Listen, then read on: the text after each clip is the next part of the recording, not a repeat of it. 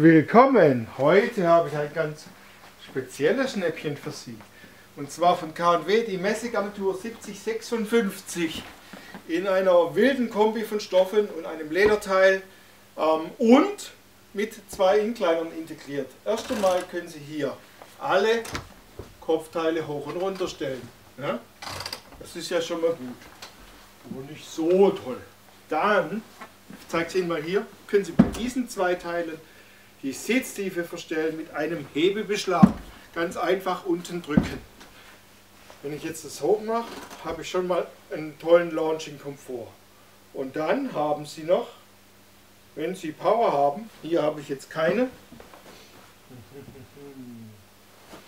Warum habe ich kein Power? Weil die Steckdose nicht richtig drin ist.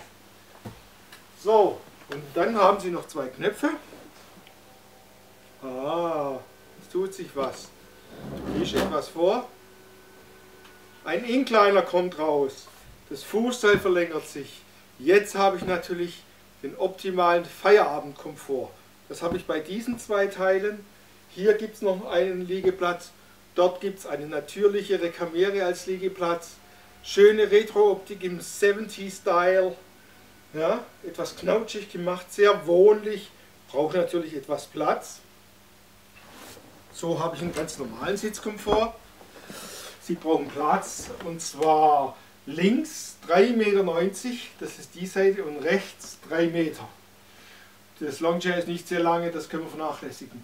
Wenn Sie diesen Platz haben und was kubisches, softiges in einem Retro-Look wollen, mit hoher Bequemlichkeit, zu einem absolut unvernünftigen Schnäppchenpreis, dann ist vielleicht K&W ähm, 7056 Ihre Garnitur.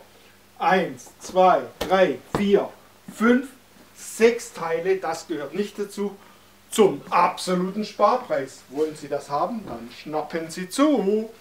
Dankeschön. Ach ja, einen Hocker haben wir auch noch passend dazu. Schauen Sie unter den Angeboten und tschüss.